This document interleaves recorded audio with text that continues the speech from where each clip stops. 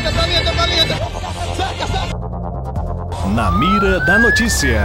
Oferecimento Autoescola em Plaque. O menor preço do Brasil por 699, categoria A e B. Vários arrombamentos a residências foram registrados aqui no bairro Angelim. Os modos operantes foram sempre os mesmos. Os bandidos chegavam durante a madrugada e primeiro eles envenenavam os cachorros. Com isso, eles conseguiam entrar nas casas sem serem percebidos.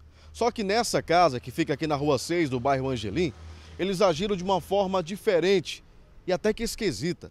As pessoas estavam dormindo, não perceberam nada. Só quando acordaram pela manhã foi então que perceberam que o aparelho de TV e outros objetos teriam sido roubados e a porta estava aberta. Os moradores acreditam que os bandidos teriam acendido uma espécie de incenso. Com isso, as pessoas respiraram aquele ar e acabaram adormecendo. Ninguém acorda, moço. Ninguém.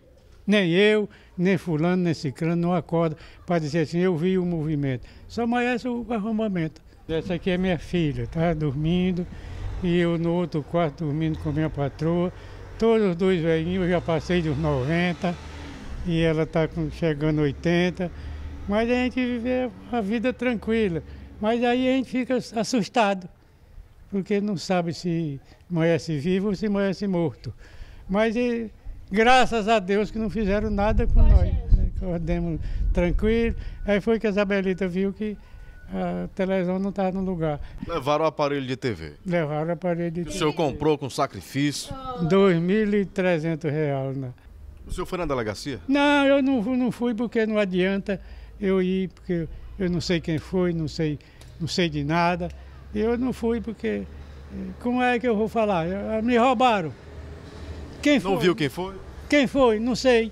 Seu Salustiano foi mais uma vítima desses marginais que vem causando terror aqui na área eh, do Angelim, na zona sul de Teresina. Eles Aliás- entram na residência. Aliás, já me roubaram duas, que ano passado roubaram uma.